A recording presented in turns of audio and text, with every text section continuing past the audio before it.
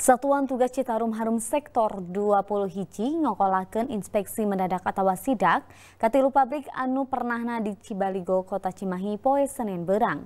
Eta sidak teh dilakonan minangka tarekah pikenalingakeun cenglengan instalasi pengolahan air limbah atau IPAL anu hade.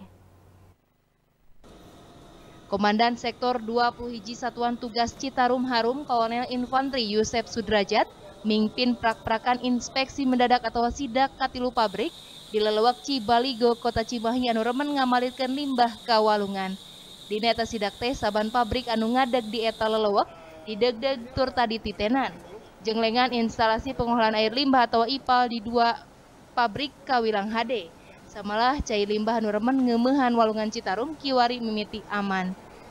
Samalah ayeuna lauk bisa halirup di jero eta kolam penampungan limbah teh.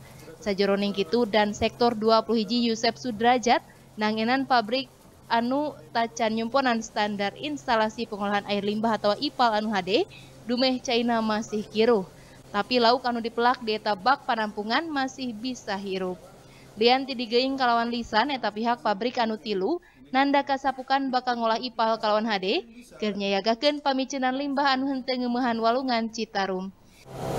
Ini harus segera diperbaiki. Kita kasih waktu biar nanti komitmen yang kita buat. Waktunya berapa hari nanti kita sepakatnya. Nah setelah itu dalam waktu yang disepakati itu kita datang lagi.